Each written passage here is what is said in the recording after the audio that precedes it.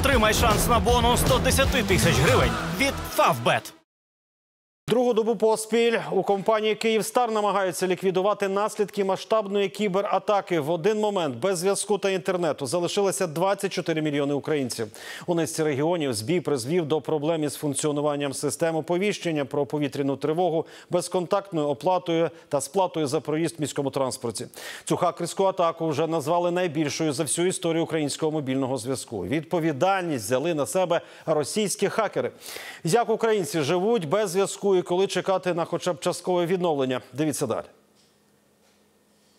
Вже понад добу українці, які залишилися без зв'язку через атаку на Київстар, штурмують магазини інших мобільних операторів. Скільки пакетів Vodafone я продала за сьогодні? За сьогодні було продано всі інші пакети повністю, окрім Київстара. А сьогодні вже по обіді став відчутний брак сім-карток в деяких столичних магазинах лайфселу. Планувала купити карту, але наївно зайшла і там карток немає. Не підключається електронна сім-карта.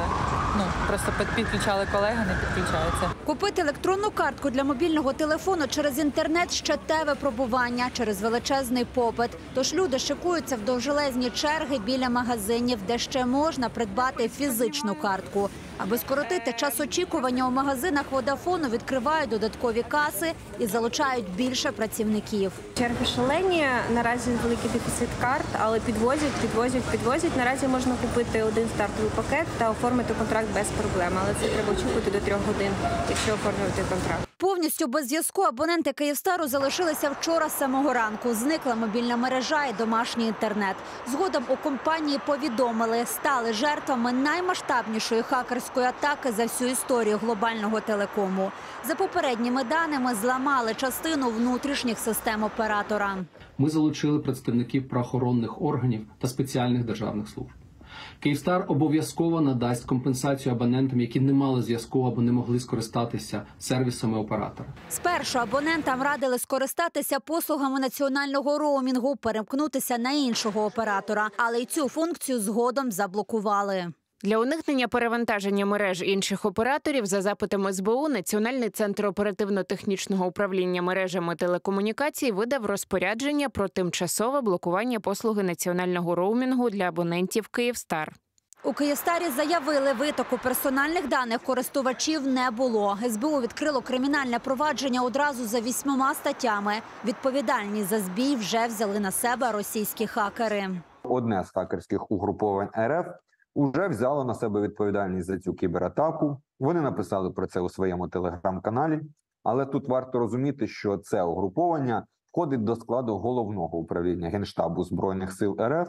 СБУ продовжує документувати кібератаку РФ по цивільній інфраструктурі України як черговий воєнний злочин рашистів. Тим, хто залишився без зв'язку, продовжують допомагати правоохоронці. Якщо потрібно зв'язатися з рідними, можна прийти до найближчого пункту незламності, які обладнані безперебійним інтернетом. Громадяни можуть звернутися до працівників поліції, і вони е, допоможуть їм у цьому вирішенні їхніх питань, зокрема по зв'язку з рідними, щоб встановити все з ними добре, щоб повідомити, що все добре з цими людьми, які телефонують. Зараз у Київстарі закликають своїх абонентів не потрапити на гачок шахраїв, бо компенсацію від імені Київстару вже пропонують фейкові боти. На повне відновлення мереж може піти не один день. рухаємося до того, щоб почати відновлювати деякі сервіси у другій половині дня.